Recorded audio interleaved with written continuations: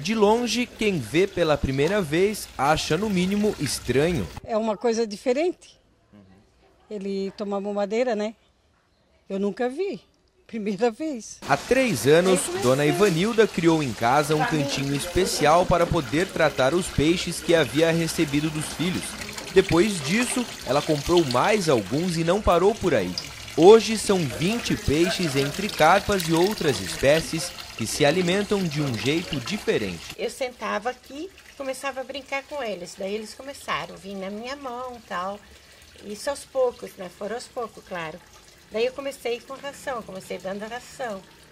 E daí eles. Eu pensei, bem, vou tentar uma madeira. Aí comprei uma madeirinha e comecei, eles gostaram da ideia e eu também, né?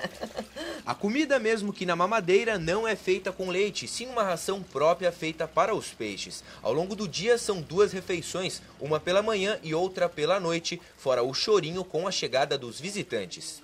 Para que nenhum peixe fosse roubado, o marido de Dona Ivanilda instalou uma grade de proteção. Aqui ficam os xodós da casa. Até pedra jogaram aqui dentro. Aí eu peguei e botei essa tela em cima para ninguém prejudicar quando nós saímos. Né? Com tanta repercussão entre os vizinhos, Dona Ivanilda já ganhou até um apelido. Todo mundo conhece a Dona Ivanilda como a senhora dos peixinhos.